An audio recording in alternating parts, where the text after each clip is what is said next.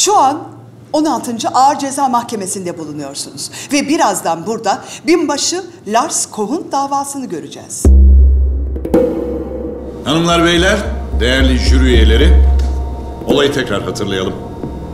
Bir terörist 164 yolcusuyla bir yolcu uçağını kaçırmış, 70 bin insanın olduğu bir stadyumun üzerine düşürecektir. Ama bir adam, işte bu adam yaklaşan bu felakete karşı gelme gücünü ve cesaretini göstermiş ve yaklaşan bu uçağı düşürmüştür.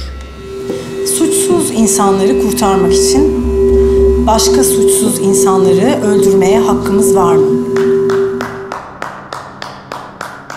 Bir iki adına Lars Koch ömür boyu hapse mahkum edilmeliymiş ve 70 bin insan da ölmeliymiş.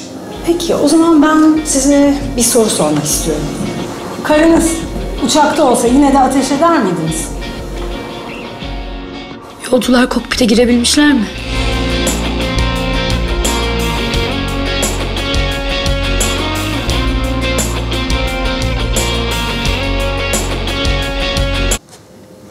Kararı açıklıyorum.